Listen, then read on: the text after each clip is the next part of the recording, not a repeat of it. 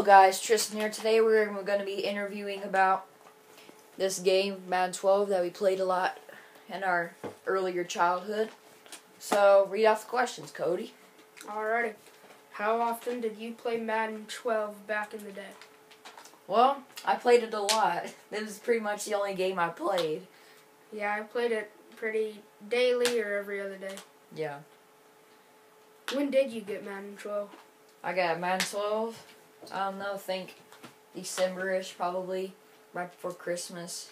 Well, not right before Christmas, probably just the beginning of December. My mom, we were in the car driving home from kids club, you know, Yeah. and she gave it to me. She's like, look what I got you. So that's when I got it. When did you get it? I got it, uh, the year it came out, I got it with my Xbox 360 Yeah, that's cool. in 2011. Yeah. How do you think the graphing, graphics are after playing it today?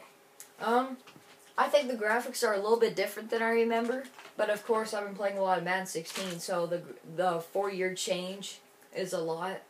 So yeah, Yeah.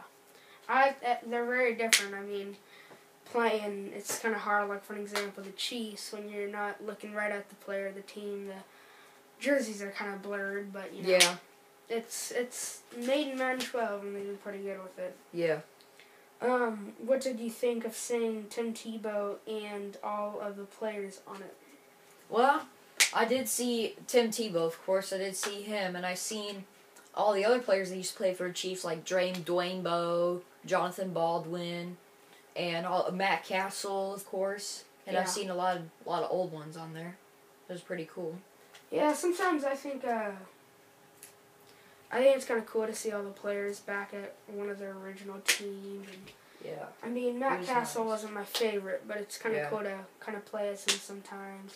I was never really a big fan of Tim Tebow, Yeah. but it was nice playing the game because it kind of made me remind me of the old days, you know.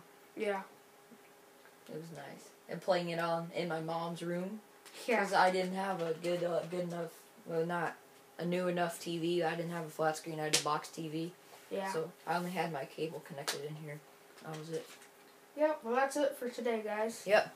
If you enjoyed this video, please click that like button and subscribe for more. If you'd have anything you'd like to request for this channel, just go right ahead. Comments help.